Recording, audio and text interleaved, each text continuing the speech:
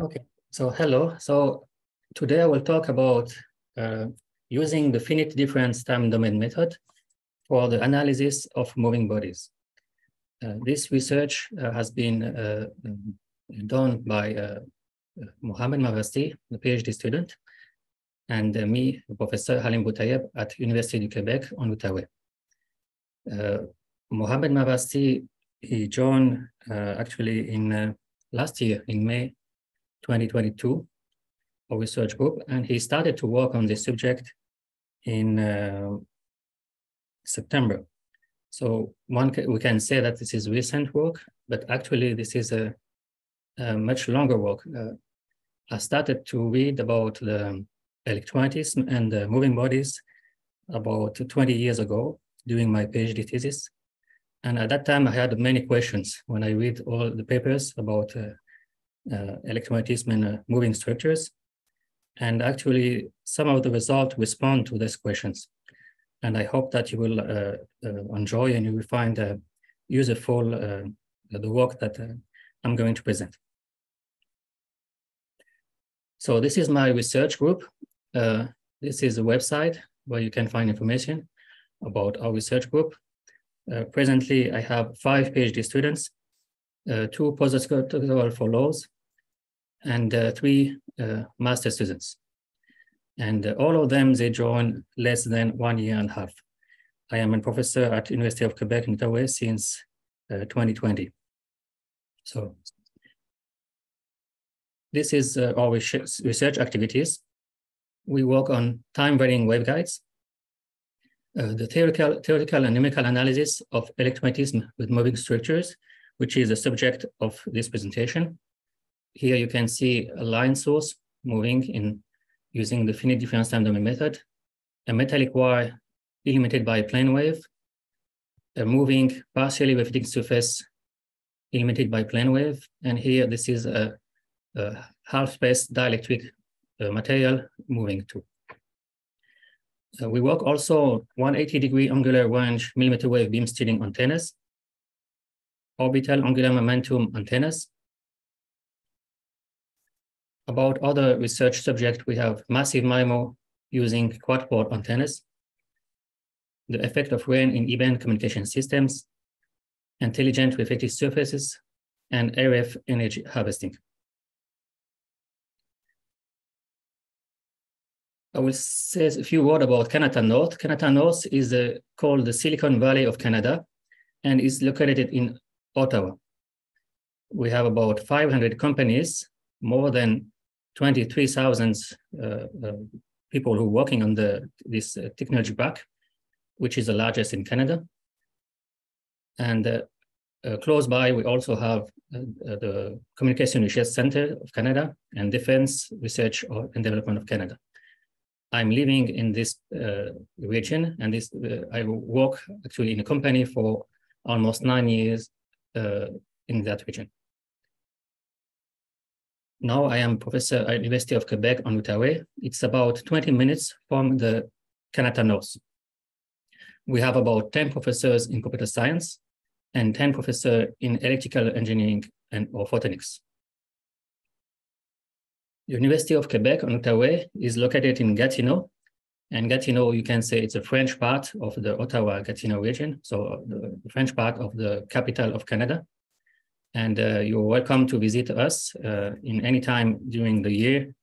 Uh, in summer, spring, and winter, you can see we have very nice festivals.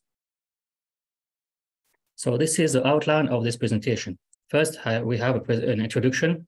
Then we talk about the numerical aspects, the observer, source, and scattering objects, the metallic slab, the Michelson-Morley interferometer, the Sagnac effect, Compton experiment, Heaviside faster than light analysis, and then we have the conclusion. The analysis of electromagnetic problems with moving object has many applications. For example, radio frequency Doppler radars, astrophysics. Uh, I should admit uh, Ali Riza uh, GPS, electromagnetic mm. optical gyroscopes, and, and so on. It has been an important subject of interest for a long time. Numerous investigations have been carried out in this area, which is interesting from a practical, but also from a theoretical point of view. In 1887, Waldemar Voigt wrote a paper called On the Principle of Doppler. And in this paper, he started with the, Uh, the, what we call the convective wave equation, which is a wave equation for a moving observer. And that's what we see here for 1D problem. And he want to write it in this form. In the has a wave equation with the observer at rest, which is very well known. And to do this, he has to introduce auxiliary variables, so x prime and t prime that we see here. So why he did that is because he wanted to uh, uh, uh, to, to, to find an explanation. So actually he wanted to, to find a new formula for the Doppler effect in order to explain the Michelson experiment of 1881. Uh, we will come back to Michelson and Michelson-Morley experiment, interferometer later. So that was his objective. Because uh, analyzing this uh, wave equation in terms of frequency and wavelengths is difficult, he made it simple to, uh, to make it in this form. He just have to add these auxiliary variables. So in his mind, these two, uh, this equation and this set equation are the same. And his analysis, he considered an elastic increasing, increasing medium. And uh, this equation in his work, they work for acoustic waves or for light. So if it is acoustic wave, the A is a is a longitudinal pressure, and c is the speed of sound. And for uh, light or electromagnetic wave, A will be a transverse uh, field component, and c is the speed of light. For 3D problem, we have x prime, y prime, and z prime, and then the t prime. And this is the wave equation for uh, uh um, uh, observer at rest. And here we can see the gamma, which is an important a parameter that we will talk uh, during the presentation. So the gamma, you can see it in the Voigt auxiliary variables. It is here and here. Hendrik Lorentz uh, wrote this paper from 1892 to 1904 uh, about electromagnetism with the moving structures. And actually, he adopted Voigt auxiliary variables. And later, we will see he multiplied with the gamma factor. So this very important paper from uh, Lorentz, la théorie électromagnétique de Maxwell et son application encore en, en, en mouvement, uh, attempt of a theory of electrical and optical phenomena in moving bodies, the relative motion of the Earth and the ether, simplified theory of electrical and optical phenomena in moving systems, electromagnetic phenomena in a system moving with a velocity smaller than that, than that of light. In this paper, attempt of a theory of electrical and optical phenomena in moving bodies, Lorentz used uh, Voigt auxiliary variables, and that's what we see here, the T prime and the R prime. And by using this, he find this uh, uh, uh formula for the field in uh, his uh, in case of a moving system. By using this equation, he was able to derive uh, uh, different equation actually uh, that actually supported Maxwell electrodynamics because he was able to derive the formula for the Doppler shift, the stellar aberration of Fizeau experiment. So here, if, if you see here, he just replies T prime X prime using Voigt variables. And then by using, by doing some algebra, you put everything uh, which, which is a factor with T together, sorry, and factor of x together, and then you can find the uh, Doppler shift here. So Doppler effect. And the stellar aberration, he's doing the same thing, and then he find the V over C here, which is uh, uh, uh well known for the um, list uh, stellar aberration. We will talk about the stellar, uh, stellar aberration later in this presentation and also for Fizeau experiment, which is an experiment has, has been done by Fizeau with the moving water and uh, uh, analyzing the speed of light in the moving water. Uh, and uh, here in, in his analysis, when he have a moving, moving medium, he finds that the speed of propagation will be at low speed will be expressed like this. And Fresnel actually uh, uh, computed uh, this formula in the 18th century. And Lorentz find the same formula by using his analysis. So all these uh, results actually supported Maxwell electrodynamics. They helped to accept Maxwell equation. And uh, so they were very important. So I have to admit someone. Then in 1904, uh, he used again the variables of a Voigt, but he multiplied with the gamma factor. As you see here, the gamma is here, the gamma is here. We don't have the inverse gamma here in y, and, and we don't have it here. And the gamma factor actually accounts for the length contraction hypothesis that he used to explain the Michelson-Morley experiment. We will come back to that later. And for the apparent increase of electron mass in Kaufmann's experiment, so in particle accelerator. The finite difference time domain method, it's based on a discretization of Maxwell equation in time and space. We have here uh, the Faraday law and here the Ampere's uh, Maxwell law. So E is electric field, H magnetic field, uh, here mu is per, uh, permeability, permittivity epsilon, and uh, conductivity uh, sigma. In Cartesian coordinates, we will have six scalar equation, partial differential equation, and we discretize that in time and space, and we use this finite difference in uh, with uh, space and time. And uh, the Yee cell that we see here, which has been developed in 1966, and this is an example of result based on the Yee, Yee uh, finite difference and Yee cell. Uh, this is for the update of HX component. This is the Yee's algorithm. First, we define the space meshing and the time step initialization. And then we have in a iteration in a loop here in a time loop. We have we can calculate the electric field component based on the previous magnetic field component, electric field component, and, and then we do the same thing for the magnetic field components. And then we increase the time. If you come back here, Maxwell equation, they use, uh, like, look to this one, so they use uh, space variable, x, y, and z, and time variable. Actually, this is all what we need to, to, to, to take into account any motion. Uh, motion is just more, uh, a change of position with time. So let's use only Maxwell equation and the finite difference resolution of Maxwell equation to resolve problem with moving structures. We will just change the position, position of the structures inside the loop. So they are problem with the concept of change of ref reference frames, which we call the Voigt-Lorentz transformation.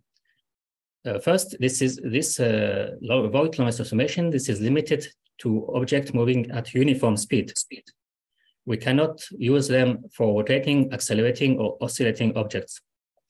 It cannot be used uh, for multiple objects moving at different speeds.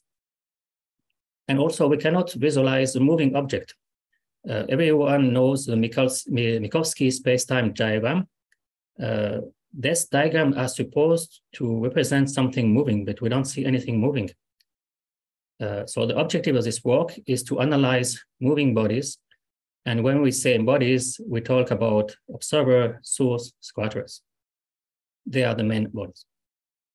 With the FDD method, and without the implementation of Voigt-Lorentz transformation we will analyze the result and compare with the relativistic, which will, will be the reference for us, results.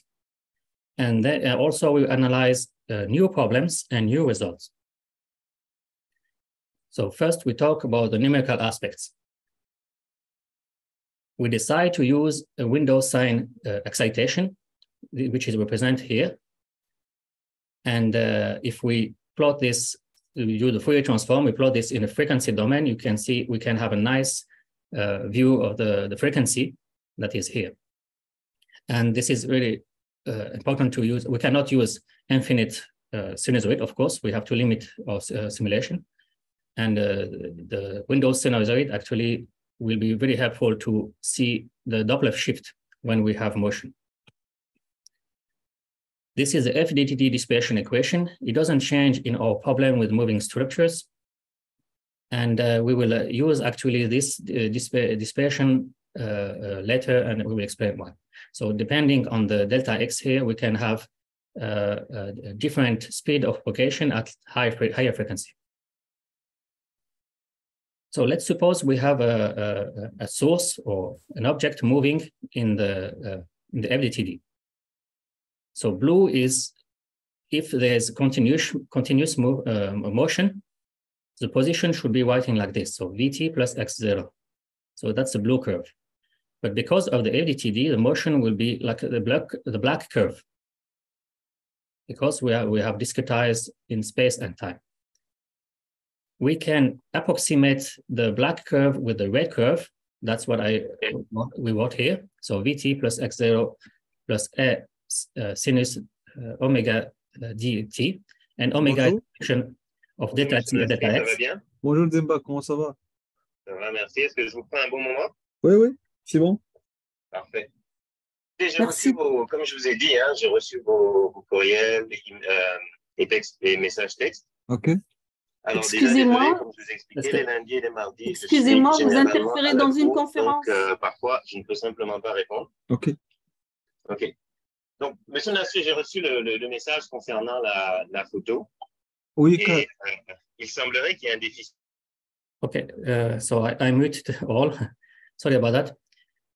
So uh, the so the, the the red curve is approximating the black curve, and we will uh, use actually the red the red uh, the, that equation to to uh, derive the analytical equation. So here we have a moving plane wave source.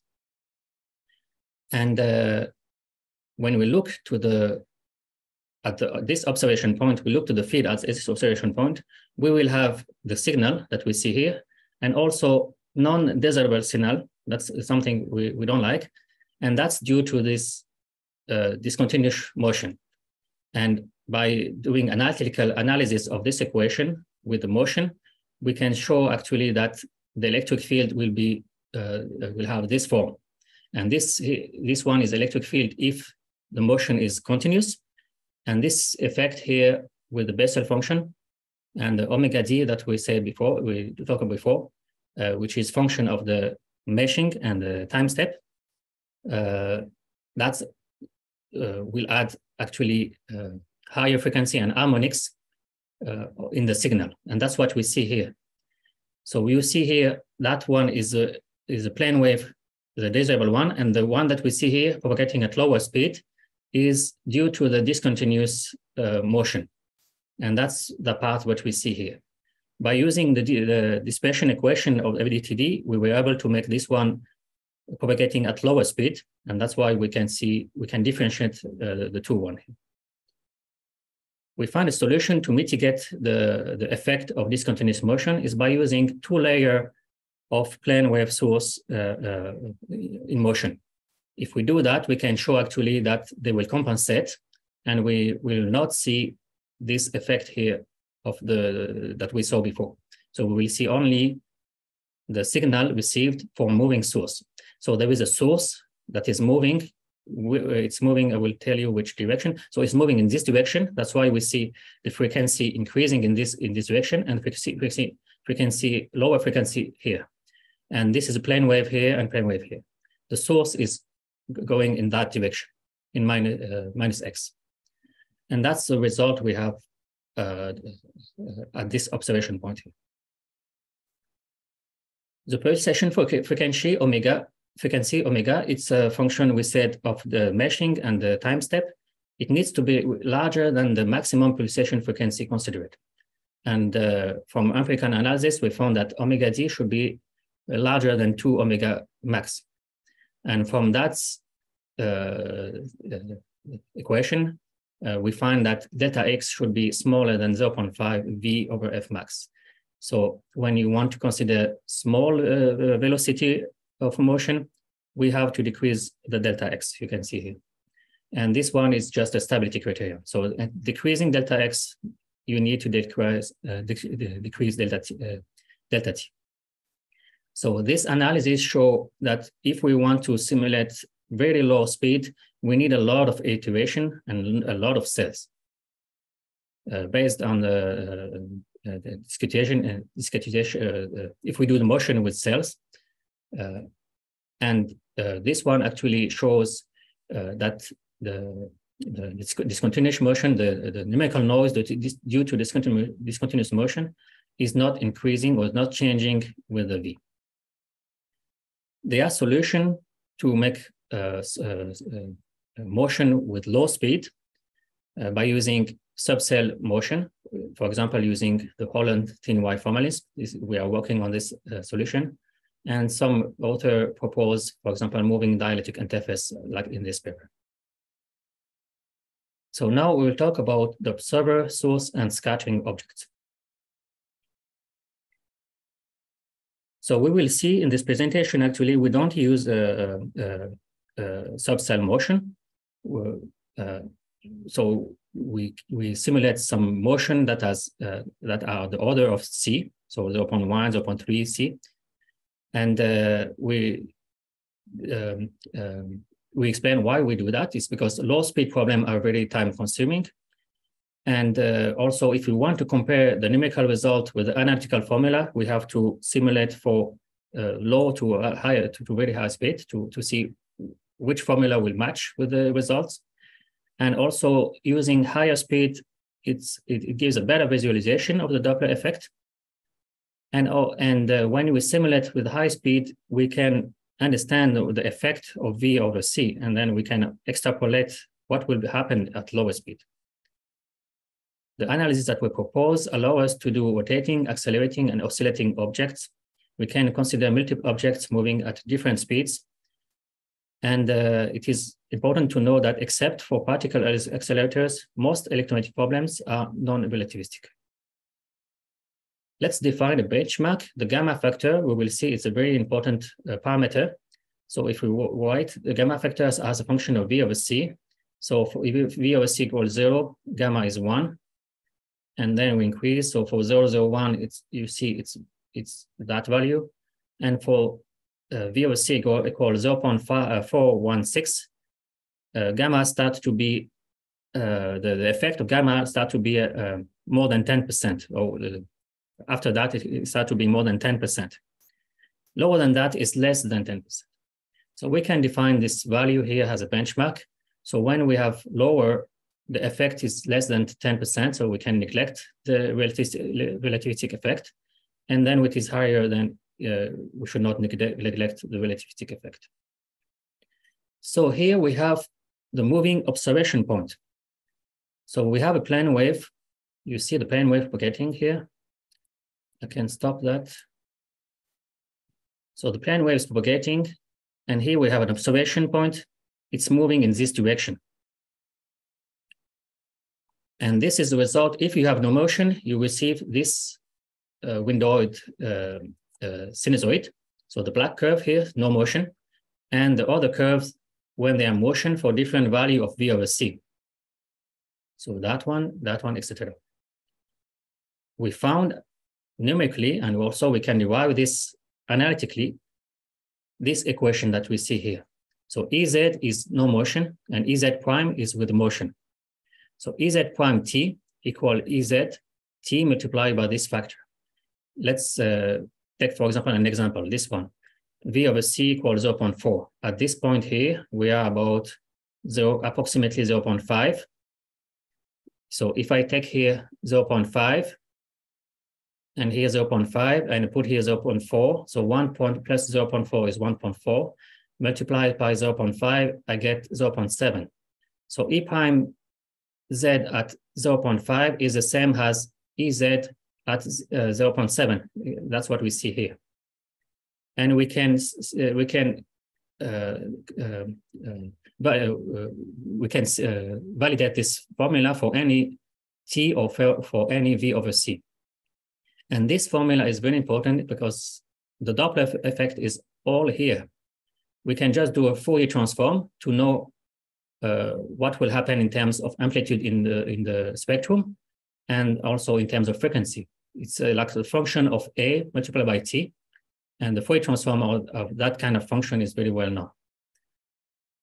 And actually, we found interesting that if you look to Lorentz local time, So you remember the uh, the the the Voigt variables of t prime, which Lorentz call it local time.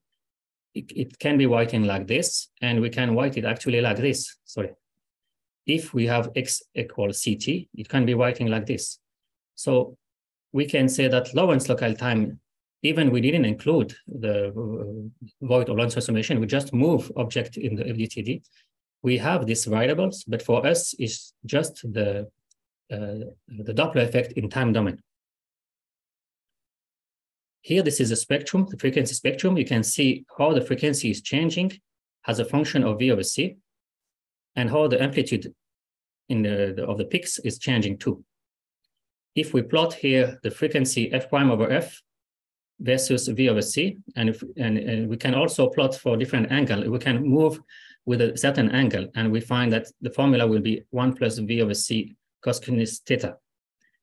And the amplitude is changing uh, uh, like the inverse of this, uh, uh, uh, of the frequency. The relativistic formula is gamma multiplied by 1 plus V over C. So we don't have this gamma, and we say that uh, we can neglect that when V over C is small. But if we want to implement that, actually it's very easy uh, with our FDT approach is by simply take the field that we, we observe, so EZ observe, and we do uh, uh, uh, post-processing. So EZ observe gamma T will be our new EZ, and that uh, new EZ will, um, will include actually the relativistic effect here we have a plane wave source uh, moving. I should stop here and go here. Okay. So the plane wave source is moving in this direction. That's why here the frequency is higher and here the frequency is, is lower. Okay. If the plane wave source doesn't move, you will have the same frequency here and here.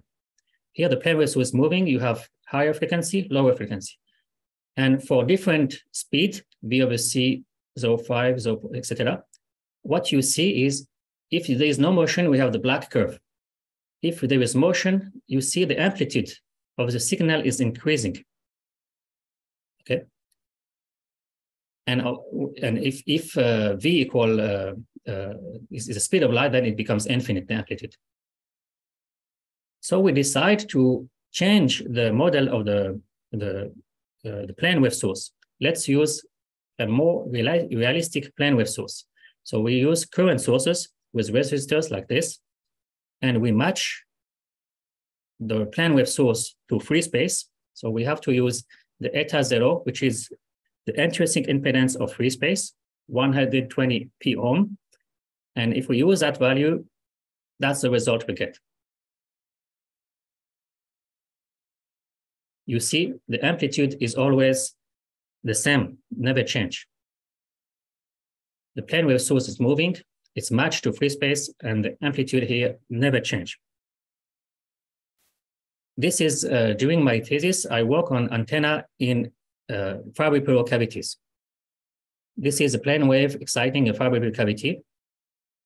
It's easy to analyze the transmission coefficient. You had, you have here the transmission of one is T, T. So when you go the first y will be t square. Then you have reflection, so t square plus s square, and then you have to add exponential minus gk 2d, and then you have uh, uh, four reflection, etc., etc. And so you add this, you have a geometrical series, and then the formula will be this one. If you take the maximum of this, you will find that the maximum is given by one. If there is no absorption, no loss, the maximum is one transmission if you put the plane wave source inside the Fabry-Perot cavity and you do exactly the same analysis, transmitted, reflected, etc., you add them, and you get this value, this formula. So compared to that one, here you you, you have you don't have the t square, you have just t, and here you have r. So the formula change a little, but if you look to the amplitude, the amplitude actually is not limited by one. It can even, even be infinite it can be very large. You can you have to take R very large. You can have uh, R close to one, and you can have transmission very large. This is because the model that of the, uh, the source that we're using is ideal, it's not realistic. This source is not interacting with the waves. It's like any wave can pass through it like a bad antenna. It's a bad antenna. So it's a bad antenna. You can match the antenna and improve the power. And if in that paper here, actually, we use uh, this model of the uh, more realistic plane wave source. And we didn't have in, increasing uh, energy by using uh, a matched plane wave source. So this analysis that we presented about the ideal plane wave source, and we say it's not realistic, based on this, we think that Heaviside moving charge analysis uh, may have to be revisited. This is a paper of Heaviside, 1888, and he found that the electric field for a moving charge increase indefinitely and become infinite when v equal c. And if the charge was matched to free space, we have shown that it should not increase at all. It should be the same amplitude. So we think this should be uh, revisited. Also in Einstein uh, paper of 1905 on the electromagnetic of moving bodies, he also actually actually has a problem also with the moving observer. From this equation, it appears that for an observer which moves with the velocity uh, c towards the source of light, the source will appear infinitely intense. This is a, a figure, uh, an image I took from internet, and you see when the, the source is moving toward us, or you see the amplitude is the same, just the frequency is changing. And this is exactly what we got in FDTD if the source is matched to free space. If it's not matched, you can you can increase the, uh, the amplitude, but it's not uh, uh, realistic. It's not representing the reality. Um, uh, also, what we did is, if we come back to the moving source here, this one here, we can use two observation points and calculate the speed of propagation of the wave. And we can do that for all different uh, speed of uh, speed of uh, motion of the source. And what we found is is that we found that the, the, the, speed of the wave propagation doesn't change. It's always c. So always propagating with the same speed, uh, whatever is, is the speed of propagation of the plane wave source. And this is in an, in an alignment with the uh, with this sentence from Einstein, which is called uh, which he called his uh, second postulate. So light is always propagated with a definite velocity c, which is independent of the state of motion of the emitting body. Um, this is a spectrum that we got for the plane wave source. Uh, so you can see this is for the matched plane wave source. So you can see here the the the the, uh, the how the frequency is changing and the amplitude is changing. And so the formula that we got is f prime over f is one over one minus v over c. So depending, it can be minus or plus, depending if the source is uh, uh, is moving uh, toward the observer or away from the observer from the realistic, realistic formula actually has the gamma I minus here, so which is missing in our result that we got in FDTD, uh, simply because in FDTD, we, we, we uh, our time is not relative, is absolute. And this, uh, we propose this simple technique actually to obtain the relativistic Doppler effect in FDTD, is by doing a, a pre-processing. So we take the EZ of the source uh, so the signal that we want to send. And we do this pre-processing in order, in the end, we will get for the, the, the, Doppler effect will be the same as the relativistic Doppler effect. Here we analyze a partially reflecting surface moving in this direction. You can see also the Doppler effect and the wave is reflected here. And we can analyze the Doppler effect for different value of V over C in FDTD, and it matched very well with this formula which is a formula that that is uh, that can be de- derived uh, using the the wave theory, and uh, the special theory uh, theory of relativity give exactly the same formula.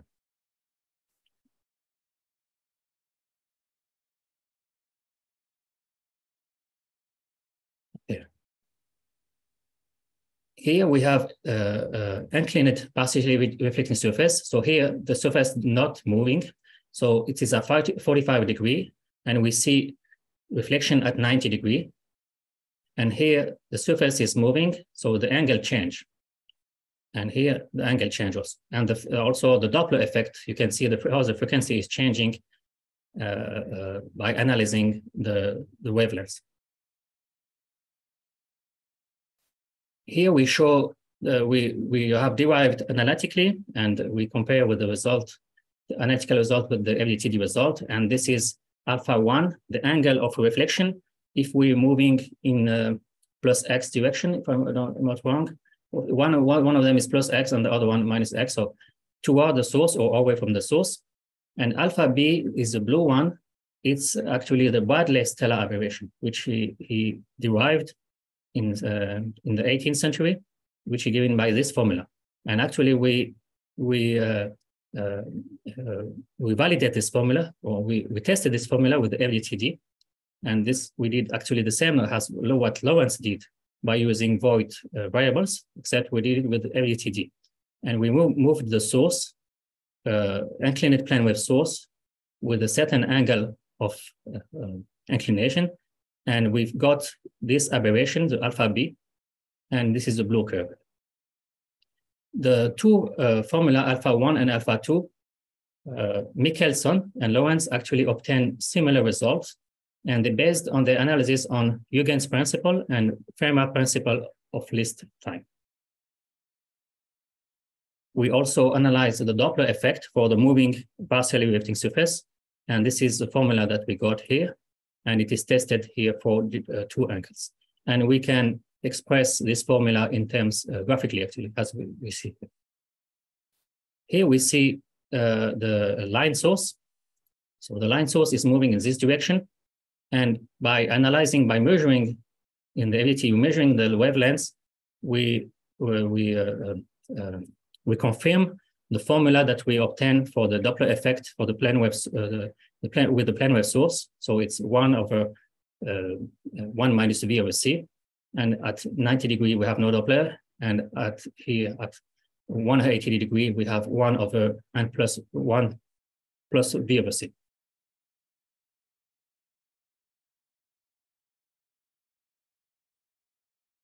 Here we have a plane wave source eliminating a metallic wire. So the metallic wire is moving in this direction.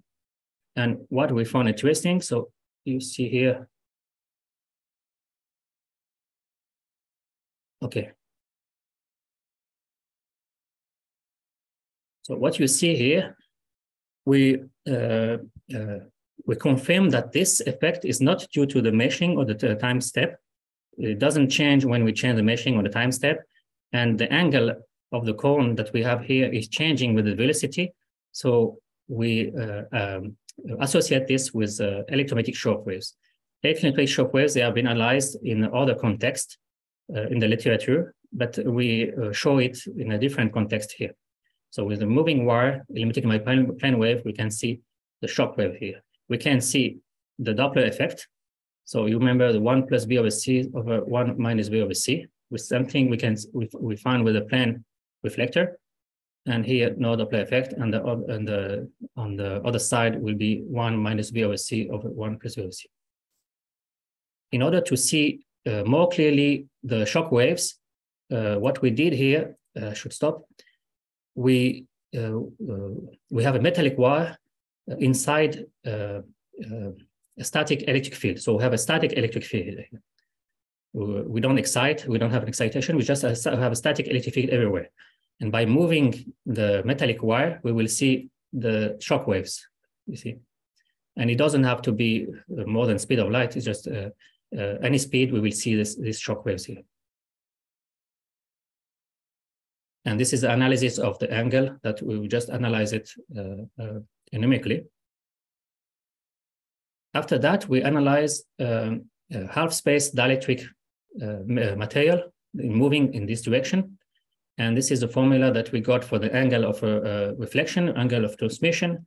The Doppler effect also uh, plotted here for different uh, the different VOC and uh, and different value of n. Sorry, for transmission. Uh, sorry, the, the previous one was reflection, Uh, so for reflection is independent of n in terms of Doppler, and for transmission, it's change for uh, the Doppler effect change with n, the index. Uh, after that, we analyze a, a, metallic slab, and this is what the, the curves show here. Uh, if we look, for example, so the blue curve is no motion, uh, the, sorry, the black curve here is no motion. And if uh, we consider a slab at rest, we will the multiple flexion will, will give the blue curve here. So that's why we have oscillation. And then if we move the slab, uh, we will have the same thing if the, there was a, uh, an interface moving, except we have the addition of the oscillation, so the multiplication inside the slab. We also analyze uh, three moving slabs, uh, moving at different speeds, and we can compare that with what will give uh, a, a, moving interface. We change the, uh, uh, the, we normalize in order to, to be able to compare this results here. Here we have a moving dielectric cylinder, and you can see the, the effect of uh, reflection inside the, the dielectric which make uh, other waves coming here. Here we have multiple cylinder moving at different speeds. So each one is moving at different speeds, five cylinder in this simulation. If we, here we show the result for three moving cylinder and uh, the, the, black cur curves here, the different curves that we see here, they are for uh, moving interface. And the moving cylinder, the three moving cylinder will give us the blue curves that we see here. So it will be a combination of this, uh, the, previous curves. So the, uh, we can compare with the previous curves. We normalize the amplitude in order to, to, to have a better com comparison.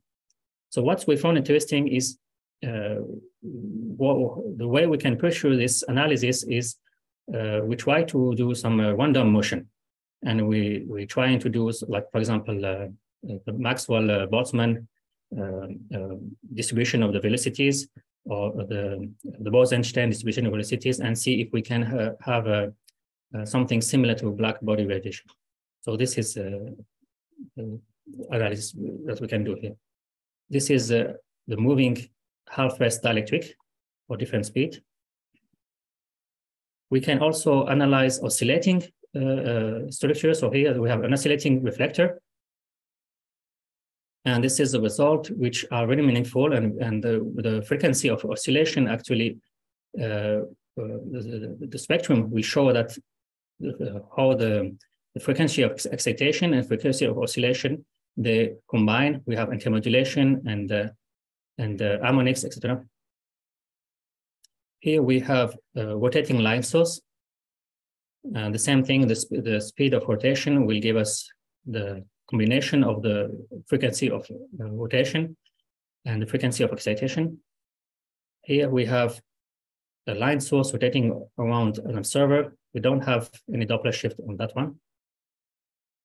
Here we have a rotating observation point. This one is for accelerating observer. So if the observer is accelerating, what you see is changing of the frequency.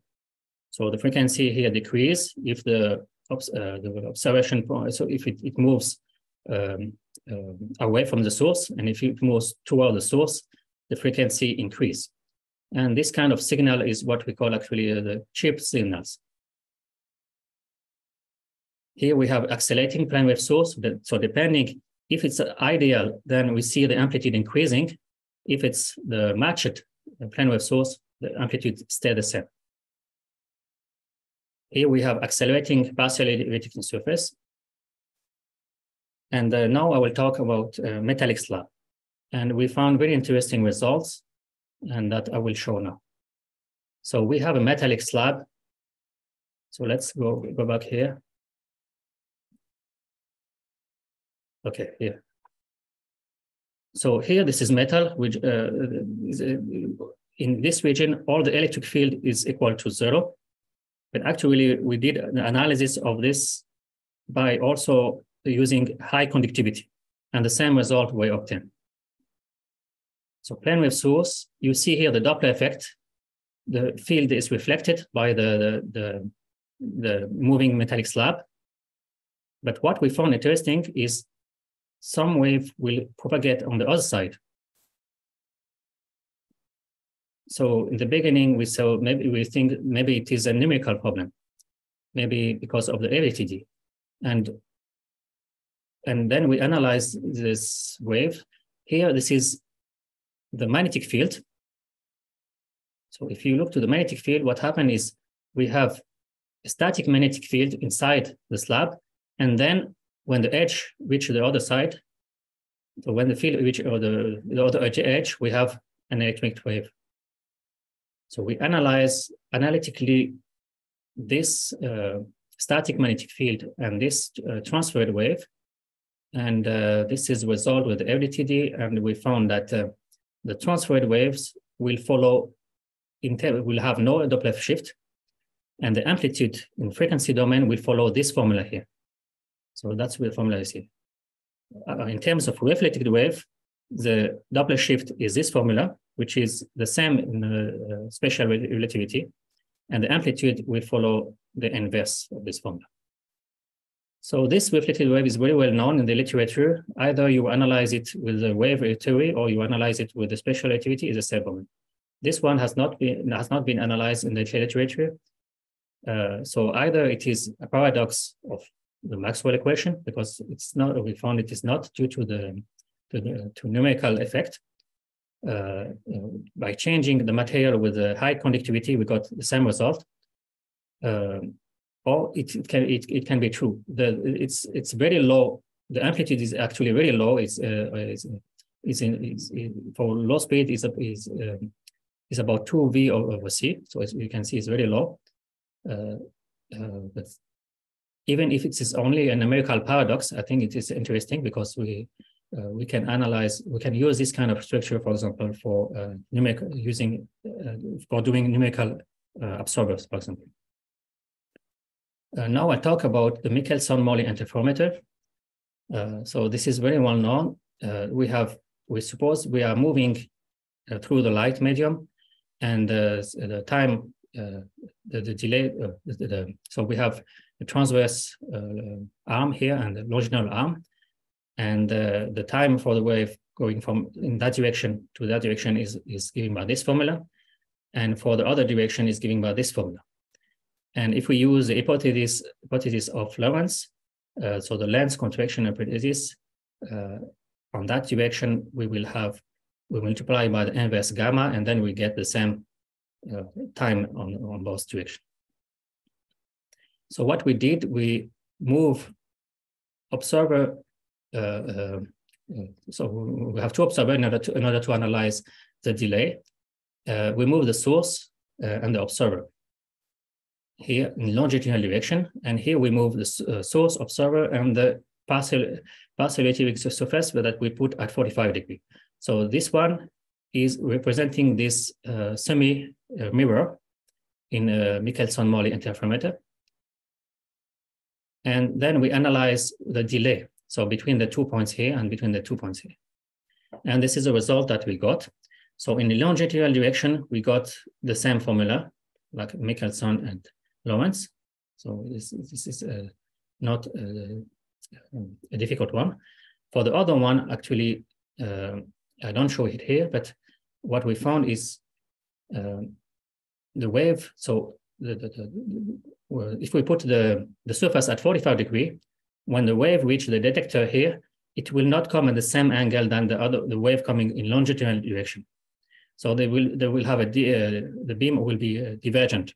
So we have to turn the surface not exactly 45, turn it uh, uh very slightly, and then they will they will converge.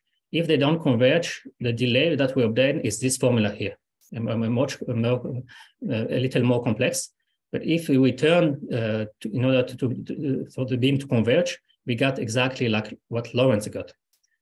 And uh, what was uh, interesting, we found that Michelson actually uh, predicted this uh, phenomena, and he predicted that uh, the effect will be very small. And the FDTD shows actually that validates this this analysis and show that the effect is small actually. So this the red curve here and the blue curve they almost match here. Uh, what we want to do to pursue this analysis is to uh, we found that the, the, the phase of reflection coefficient for moving mirror uh, change a lot. Uh, so, so if we look to this mirror or here on this mirror here, they will not have the same phase of reflection coefficient uh, as a function of V over C. And we want to do this analysis to see if this cannot have an effect in uh, the, the comparison of the two delay. Uh, when we look to the Michelson and Morley uh, results, uh, actually they, they, they, these are not, they are not using the same scale. It's This one is even smaller than that. the discontinuous Y is the expected one and the continuous one is the measured one. Uh, and, and a way to, to decrease the effect or the phase of reflection coefficient of the mirrors is to increase the length. Michelson Morley have a, uh, increased the length in the second interferometer, but they have to use a lot of mirrors, and this actually doesn't resolve the problem. So we found that uh, um, the, that interferometer has an asymmetry, and uh, this uh, new interferometer that they use in 1925, which is based on the Sagnac effect, which, which we will present later uh, in this, uh, we'll talk about it later, uh, doesn't have this asymmetry. So the wave going in that direction or the wave going in that direction, they are using the same path. So now we don't have the asymmetry, we don't have the problem, the asymmetric problem. And this uh, Michelson-Gale-Pearson interferometer gave, gave positive result. Um, contrary to the Michelson-Morley experiment. So let's talk now about Sagnac effect. So Sagnac effect, uh, it has application in GPS. It's very important in GPS. Uh, and uh, we can use it for as an electromagnetic or optical gyroscopes. We have um, uh, designed um, um, circular waveguide like this one, and also another one with using microstrip. And we're moving the observer and we're moving the source in the, for the two problem here. And this is a formula that uh, Sagnac derived. And we have did the simulation here with the FDTD. You can see here the source moving, also on that one, observer and source moving. Actually here they are not moving, okay. Uh, but here they are moving.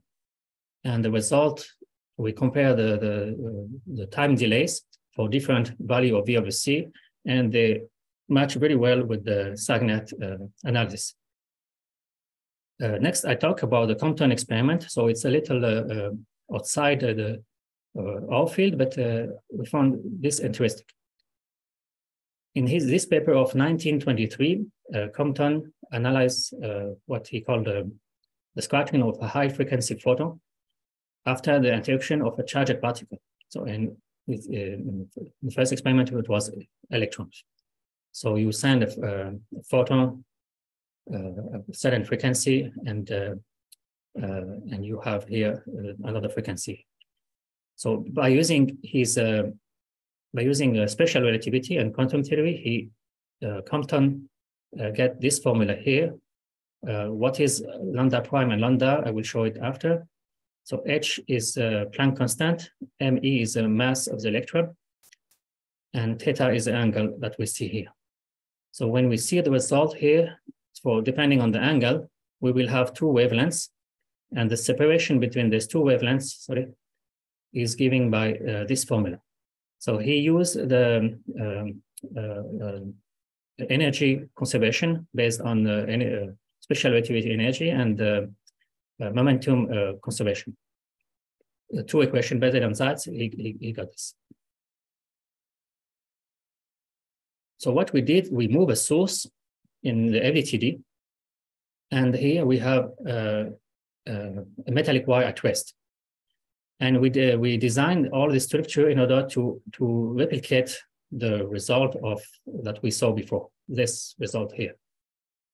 And this is what we got here. And we, we have a different angle. If we look at different angle, we will have at zero degree one wavelengths, and then we will have the two wavelengths and etc. And if we compare the result that we got here with the uh, with the uh, with the experiment, they are very close.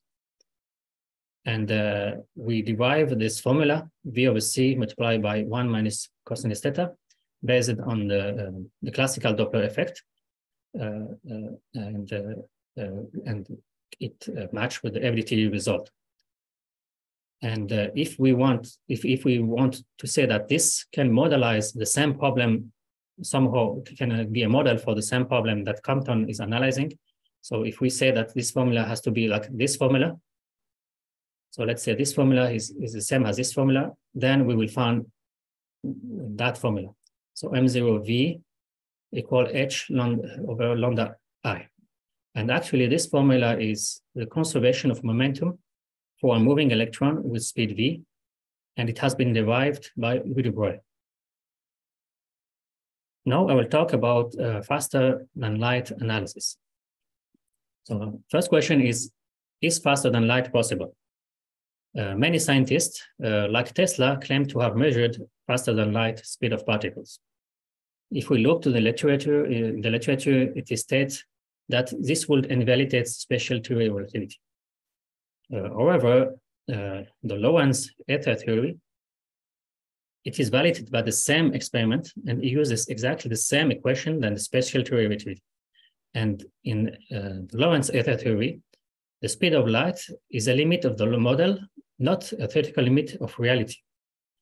Uh, uh, in the in the beginning of the 20th century, William Wien is he was among well-known scientists who claimed that the speed of light cannot be exceeded and he based uh, this statement uh, on Heaviside analysis for moving charge, because the energy becomes infinite when the speed of light is reached. And uh, Wien actually has a very strong influence on young scientists, uh, such as uh, Einstein. And we actually we say that uh, during our presentation we say that we should revisit Heaviside analysis. The matched plane wave source doesn't have a field increasing with the speed of, of, of the uh, of the source. What what uh, Heaviside said about that? Heaviside said faster than light is possible, and he said I'm not afraid of infinity. So even if he has this uh, solution with infinity, he said for him it was still possible that than light was was was still possible. And in this paper of 1888, uh, electromagnetic waves, propagation of potential, and the electromagnetic effect of a moving charge, he did actually the analysis based on Maxwell equation of the moving charge if it, it is uh, more than the speed of light. And what he got is what we see in the figure here. You see the formula sinus theta equal v over u. Uh, so u is the speed of light, and v is the speed of uh, the, the charge, uh, moving charge. And uh, here is the cone of the, uh, the shockwave cone. So the, he derived this formula based on Maxwell equation.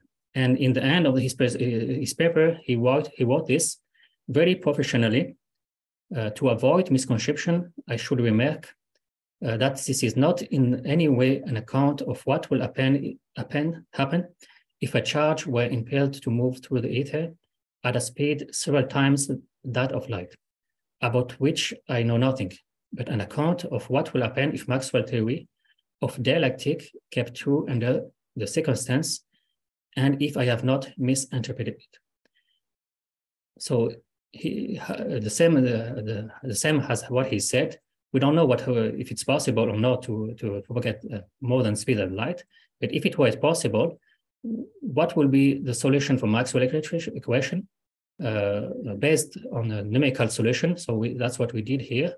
Using the FDTD, we move the source at a, a higher speed, so speed, speed, more than the speed of light. And then we analyzed this uh, angle here, this angle here for different, for different V over C.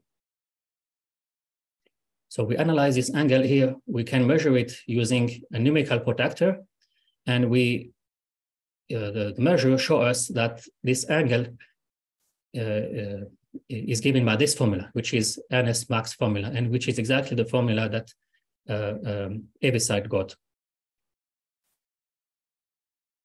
So this concludes my presentation. So we found that the utilization of the FDTD method for moving bodies without implementing Voigt Lorentz transformation give meaningful results in different problems we encourage the implementation of moving objects in commercial FDTD software. If we want to include relativistic effect for the moving source and moving observer, we can do it uh, really simply by using uh, uh, post-processing or pre-processing of the signal. And uh, I thank you for uh, uh, Uh, uh, thank you for attending uh, my presentation. Thank you very much. Thank you, thank you. Thank you, Halim, for your very, very interesting and unusual for, for us. very deep physics.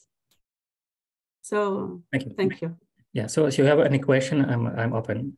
Uh, Dr. Halim, can I have can I do my PhD with you, please? I think you will do better than I think I think you will do better than Mitra.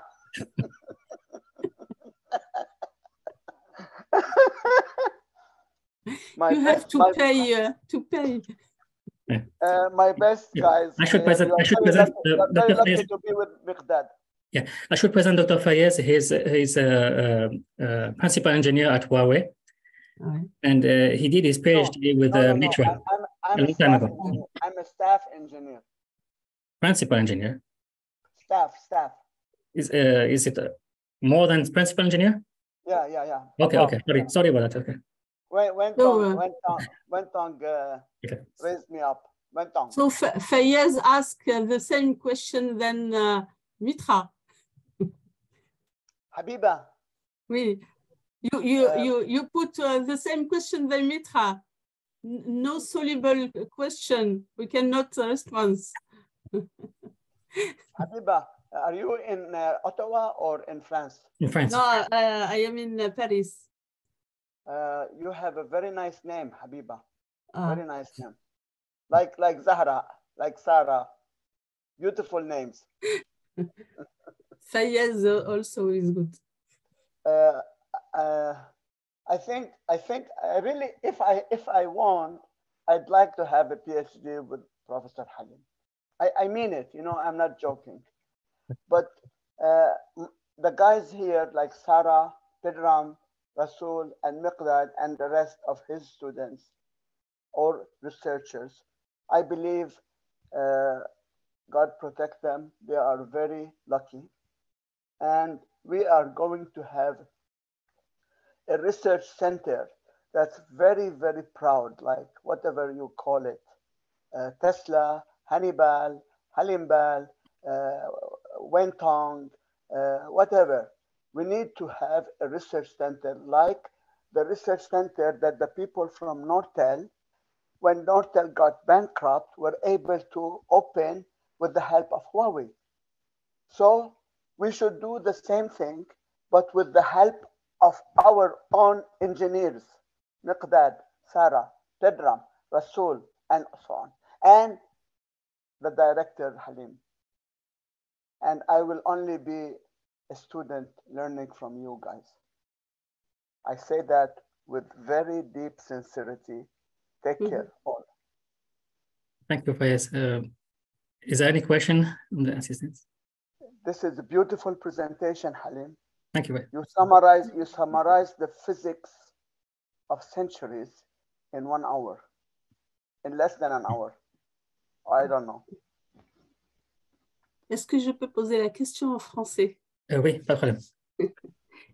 J'ai vu que les particules se déplaçaient. C'est la source que tu déplaces à ces vitesses-là. Donc, tu contrôles la vitesse des sources? Oui, le, dans, dans l'FDTD, on, on, sait très bien, comment réaliser une source. Et c'est cette source-là que, que, je déplace, ou que je, je, peux déplacer euh, l'observateur, ou je peux déplacer le, le, métal. Enfin, c'est différentes structures que je, que je déplace, que, je, que je fais, qui est en mouvement. Très bien. J'ai vu aussi que tu as parlé du charp, de la compression des, des on dirait que tu comprimes euh, les fréquences. En fait, on, a voulu analyser, voir qu'est-ce que la FDTD nous donnerait comme résultat si la source euh, euh, bouge et est accélérée, ou si l'observateur est accéléré, ou si la, surface réfléchissante est accélérée. Et tous les résultats qu'on obtenait, ce sont des résultats euh, qui, ont un sens. On obtient des, signaux chips, chips. Et ça, ce n'était pas fait dans la littérature. peut-être il craignait que peut-être qu'il pensait qu'on ne peut pas le faire. Peut-être qu'il pensait que la FDTD ne va pas donner des résultats qui ont un sens. Euh, parce, que, sinon, ouais, c'est ça. parce que si, j'ose comparer, quand à l'IUF, à Orsay, on, faisait du chirp avec des non-linéarités et non pas avec de la vitesse. on avait donc des, des, composants non linéaires et on envoyait des impulsions et ça faisait de la compression. Le même effet. Et voilà, donc je voulais savoir si, si c'est la même chose ou, oui. ou ce sont deux choses qui donnent le même résultat peut-être que le, je ne connais pas les détails de, ce, de cette non-linéarité, comment ça se fait, mais peut-être que c'est peut-être que ça a un lien aussi avec, euh, avec quelque chose qui est accéléré. Peut-être. Très bien. Et dernière question, les fréquences que tu affiches de 0 à 60 gigas, ça correspond à quoi? Euh, Dans quel, euh, dans le slide, par exemple, je pense 70, mais peut-être que je me trompe, tu avais affiché des fréquences dans tes pulses, tes spectres. Ah oui, oui. En fait, ça correspond à quoi les 60 gigas? En, fait, on a voulu, on a voulu voir en fait si on a une source qui est en rotation ou si on a une surface qui, qui, qui oscille euh, on, peut choisir n'importe quelle fréquence d'oscillation.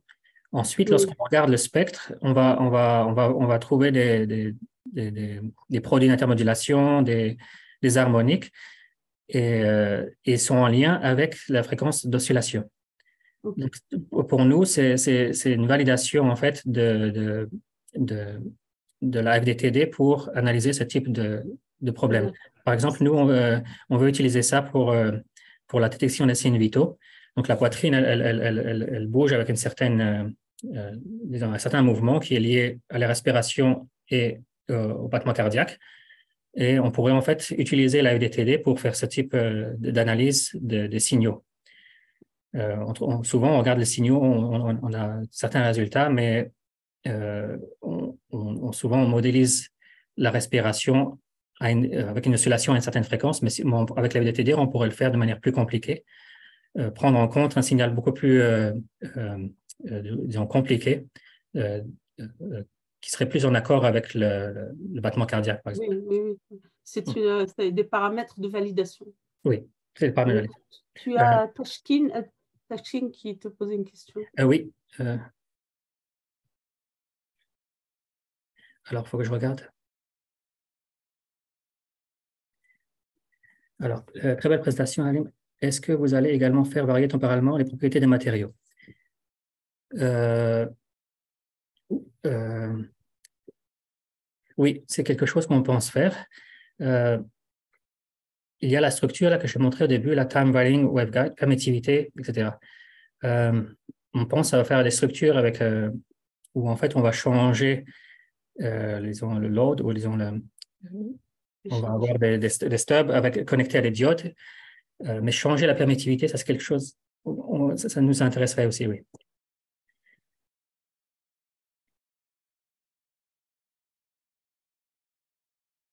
Est-ce que j'ai répondu à la question? Oui.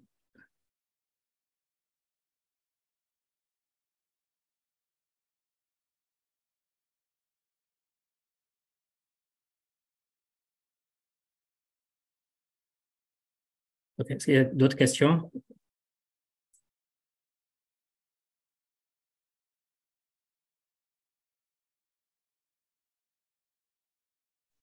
I have a question. Uh, yes. Uh, are you going to have the presentation tomorrow? Tomorrow? Which presentation? This this one. Are you going to have it tomorrow too?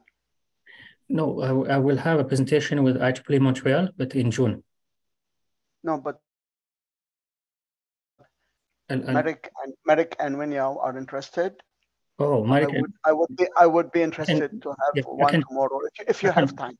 No, yeah, I can do the presentation for Huawei. Uh, if if if they want, and I would invite Wen Tong, mm -hmm. if you like Wen Tong. Okay. Uh, you know Wen Tong. Yes. Yes. And uh, Arashmid, you know Arashmid, the optics guy. Arashmid. Okay. okay. Uh, uh, you understand what I mean? Because this is very valuable presentation. As I said, it summarizes physics in an hour.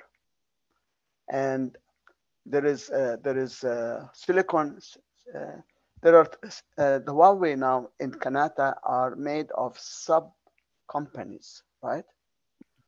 And uh, teams are different, RF, antennas, optics. I would look for the optics guy. I think maybe Hadi, Hadi something, or uh, or Arashmed, if you like. That's Yes, my yes. opinion. Yes. But I will be interested to attend. But if the others say yes, they will. Otherwise, uh, that's okay. I'm fine here. Are you going to share the slides too? Yeah, I can share this, but I don't have the email of everyone that is here. So you can send me an email. I can uh, send you my email. Yeah. Uh, On a la possibilité de la mettre euh, sur euh, I3E, peut-être. Euh, Le, le- la présentation. Mm. Ou- C'est avec la bien, vidéo. Et la vidéo aussi. Oui, OK. si c'est possible. Oui, la vidéo, je vais la partager. Mm. Euh, je vois qu'il y a Franchement, le professeur Mohamed Latrache qui a rejoint. Est-ce que vous avez des questions?